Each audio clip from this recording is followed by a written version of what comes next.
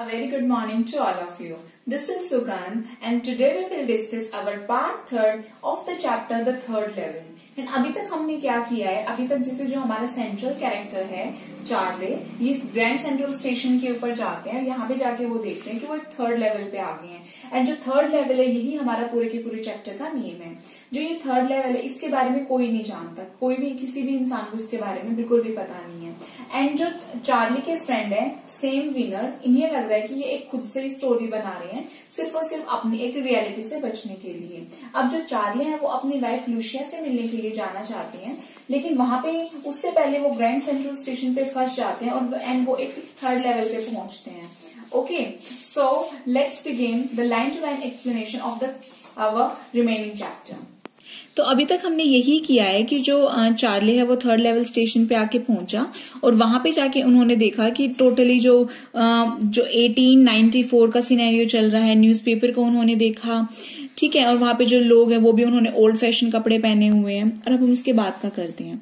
The clerk figure the fare he glanced at my fancy had pain but he figure the fare and I had enough for the two coach tickets one way जो uh, मैं वो जो Charlie थे वो counter पे गए थे कि मुझे अपने प्लेस में जाना है। मुझे गेल्सबर्ग के लिए उन्होंने टू टिकट्स लिए थे ताकि वो लुशिया के साथ वहाँ जा सके। एंड उसके लिए उससे पहले जैसे कि क्लर्क था तो उन्होंने उसका उनसे फिगर फेयर को कैलकुलेट किया कि कितने चार्जेस उसे लगेंगे। एंड वो जो चार्ले उसके फैंसी हेडबैंड को देख रहे हैं जो उन्होंने हेड डाली हुई है और वो फिगर कर रहे हैं। कि बता रहे हैं कि उनका कितना फेयर वहाँ से लगेगा। But when I counted out the money and looked up the clerk was staring at me and जो क्लर्क है वो मुझे स्टेयर कर रहे हैं। मतलब वो मुझे ऐसे देख रहे हैं। He nodded at the bills उन्होंने अपनी जैसे गर्दन हिलाने को बोलते हैं नॉडेड उन्होंने ऐसे मना किया बिल्स के। दैट एंट मनी मिस्टर ये वाले वो पैसे नहीं है mister he said and if you are trying to skin me you won't get फेरिफा क्या? और, और अगर तो तुम मुझे पागल बनाओगे तो तुम बहुत ज़्यादा दूर तक नहीं चल सकते। And he glance at the cash drawer beside me और उन्होंने कैश ड्रॉअर देखा मेरे साइड में. Of course the money was old style bills and मतलब he glances the cash drawer जो चार्ले था, उन्होंने कैश ड्रॉर देखा, जो क्लर्क था उसके साइड में, और जो मनी थे, वो भी क्या थे? ओल्ड फ़ैशन थे, वो भी पुराने के पुराने फ़ैशन के थे. And half again as big as the money we use nowadays और जो हम आज के टाइम में जो भी नोट्स वगैरह यूज़ करते हैं, वो उससे भी बड़े साइज़ के थे. यानी कि वो ओल्ड स्टाइल बिल्स थे तो वहाँ की करेंसी भी वैसी थी. एंड डिफरेंट लुकिंग्स और वो अलग से लग रहे थे. I turn away and got our fast there is nothing nice about jail even in 1894 और मैं थोड़ा सा दूर गया तो मैंने देखा कि उस टाइम की जो जेल्स होती थी, वो भी इतनी कोई खास नहीं होती थी, जैसे हम अक्सर मूवीज़ वगैरह में देखते हैं तो वो बहुत पुराने टाइम की वैसे ही थी। And that was that I leave the same way I came I suppose और मैंने सोचा मैं जिस रास्ते से आया, मैं वहीं से वापस चला जाऊँ। Next day during lunch hour I drew three hundred dollars मैंने थ्री हंड्रेड डॉलर्स निकाले बैंक से। नियरली ऑल वी हैड और हमारे पास उतने ही थे। एंड बोल बॉट ओल्ड स्टाइड करेंसीज और मैंने पुराने टाइम की करेंसी खरीदी। That really worried my psychiatrist friend and जब मैं सारी की सारी चीज़ें अपने साइकेट्रिस्ट फ्रेंड को बता रहा था तो उसे बहुत ज़्यादा चिंता हो रही थी। You can buy old money at almost any coins dealer but you have to pay a premium कि तुम कोई भी मनी पुराने टाइप का कोई भी मनी खरीद सकते हो, लेकिन तुम्हें उसकी एक अच्छी अमाउंट पे करनी पड़ती है।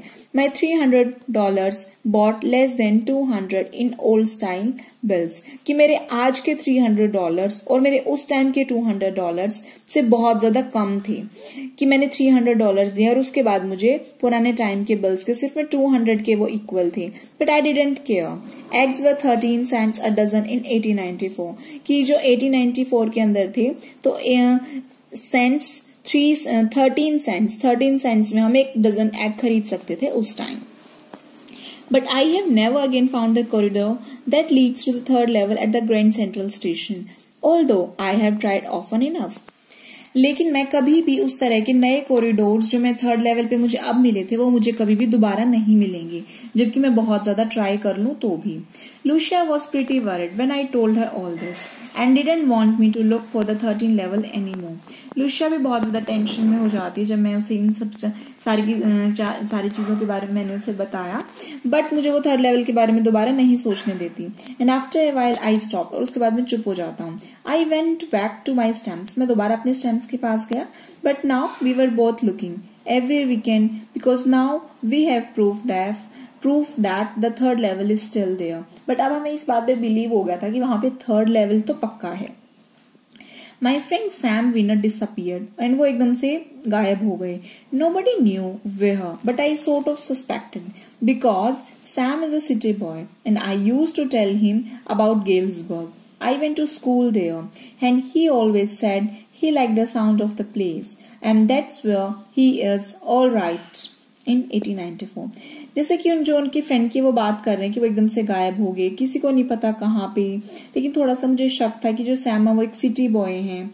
वो आ, हमेशा जिसमें उन्हें हमेशा बोलता रहता था गर्ल्स वर्क के बारे में कि मैं वहाँ पे अपने स्कूल में गया था। एंड वो हमेशा मुझे बताते रहते थे कि वो उन्हें उस प्ले साउंड का प्लेस बहुत अच्छा लगता था। तो मुझे लगता है क्या पता वो वही हो अभी तक 1894 में। Because one night fussing with my stamp collection I found एक बार मैं अपनी जैसे स्टैम्प कलेक्शन के बारे में देख रहा तो मुझे उसमें गड़बड़ से मिली। फसिंग में मुझे गड़बड़ सी मिली थोड़ी। Well do you know what a first day cover is क्या तुम्हें पता है फ़र्स्ट डे कवर क्या होता है? When a new stamp is issues कभी भी हम जैसे नई स्टैम्प लेते हैं, यहाँ पे जो नई स्टैम्प है या फिर स्टैम्प है, ये पोस्टेज स्टैम्प की बात कर रहे हैं। जैसे कि अगर हम मेल करते हैं या फिर हम पोस्ट ऑफ़िस जाते हैं तो वहाँ पे ऊपर एक स्टैंप लगती है, जो हमारी मेल के ऊपर कि ये चीज़ आपकी डन हो गया आपने पे, पैसे पे कर दिए उसके बाद।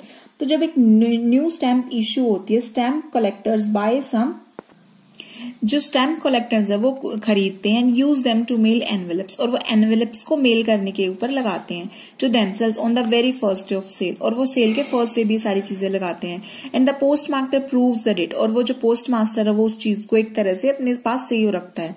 The envelope is called a first day cover जिसे हम एक फ़र्स्ट डे कवर बोलते हैं। दे आर नेवर ओपन उन्हें कोई भी खोलता नहीं है।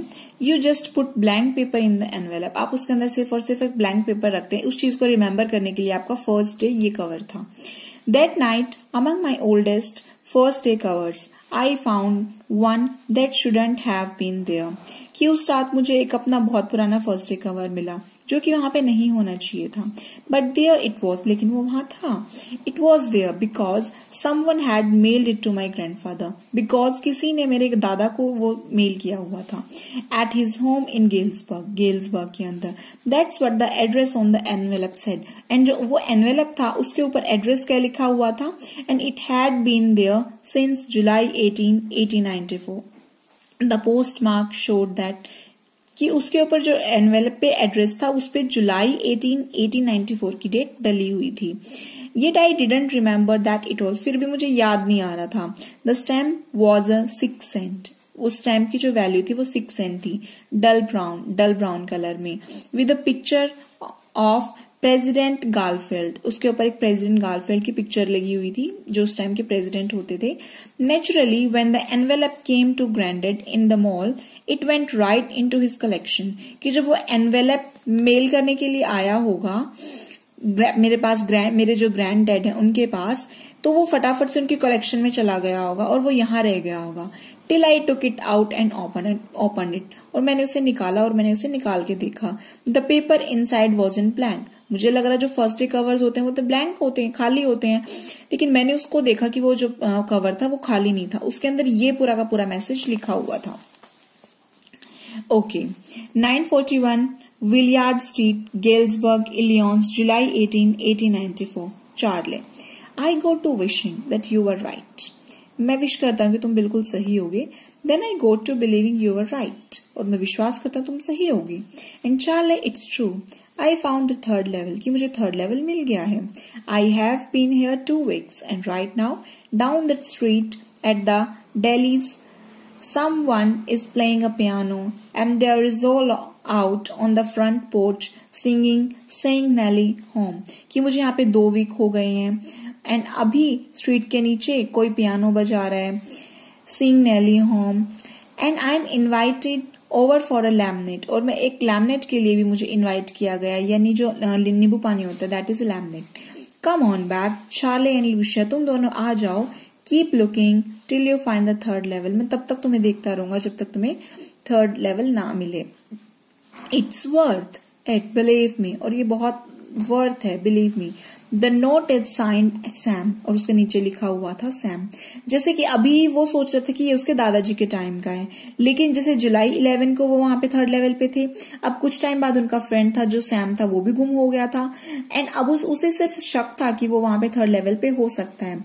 एंड उसे उसके पुराने जो फ़र्स्ट डे कवर थे उसमें एक लेटर मिला।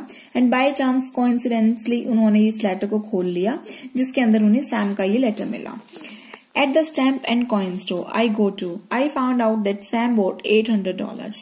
मैं स्टैम्प पे गया कॉइन स्टोर पे गया और मैंने देखा कि जो सैम है उसने 800 डॉलर्स का खरीदा है worth of old style currency पुरानी करेंसी को खरीदने के लिए that ought to set him up in a nice little hay और वहाँ पे मुझे ऐसे अच्छा लगा कि वो पुरानी घास में फेड एंड ग्रेन बिज़नेस के लिए he always said that that's what he really wished he could कि वो सच में इन सब चीज़ों को कुछ भी करना चाहता था.